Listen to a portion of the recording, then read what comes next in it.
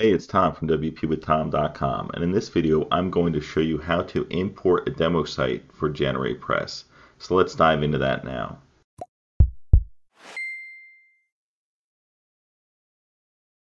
So if you purchase GeneratePress, you can see that there's these awesome website layouts that, that you can import in as demo content when you're starting to make your website. And there's so many good ones on here. I actually use a variety of these on different websites, especially with blog content that I have.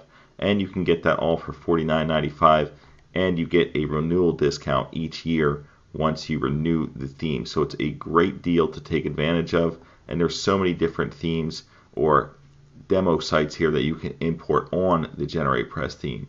So we're going to take the site from looking like this to importing one of these starter sites or these demo sites here with GeneratePress. So let's go into the process.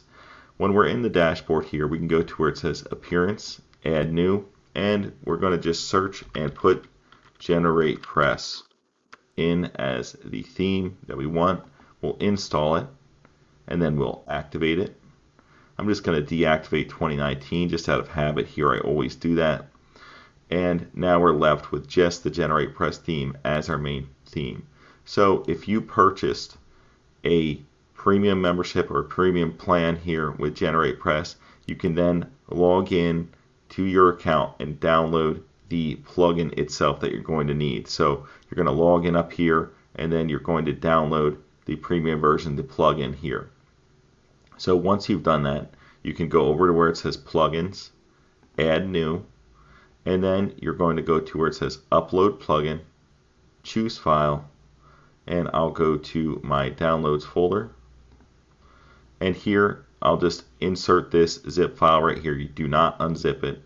And then you click install now activate plugin and it says plugin activated. So if we go over here let's just refresh and you're going to see it's slightly different with the new theme in place here. So that's what we have. Now let's say we want to install one of these. I always like using this marketer theme here for blogs. So I'm going to go up here and I'll go to where it says configure and I'll just check all these and then I'll go to activate and then I'll click apply and now we'll activate all these modules and now we have this option up here it says site library we can click on it and you can literally just scroll through here and decide which one you want to put in I said marketer so I'm going to do that.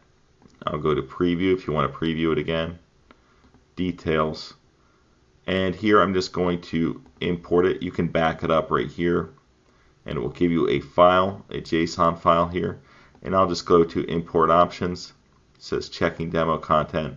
I understand that this step will add content, site options, menus, widgets, and so on. So we're going to import it. It's going to import this demo content. It's going to just take a moment to do so. It's pretty quick. And now it says all done. If we click view our site, it will take us to the site, but I just want to refresh it. So this is what we look like over here with just the theme installed. And now with this, we have this demo install content right here for our site from the site library itself. So that's how you add a demo site from the site library in just a matter of a couple minutes. And the only other thing I'm going to point out here is if you went back over to GeneratePress, you want to be able to update your license key right here, which you can also find within your login back here on generatepress.com. You can get that and update your license key for future updates onto the site. So I hope this video was helpful. Feel free to give it a like if it was and consider subscribing to this channel for more WordPress content. Thanks for viewing and have a good one.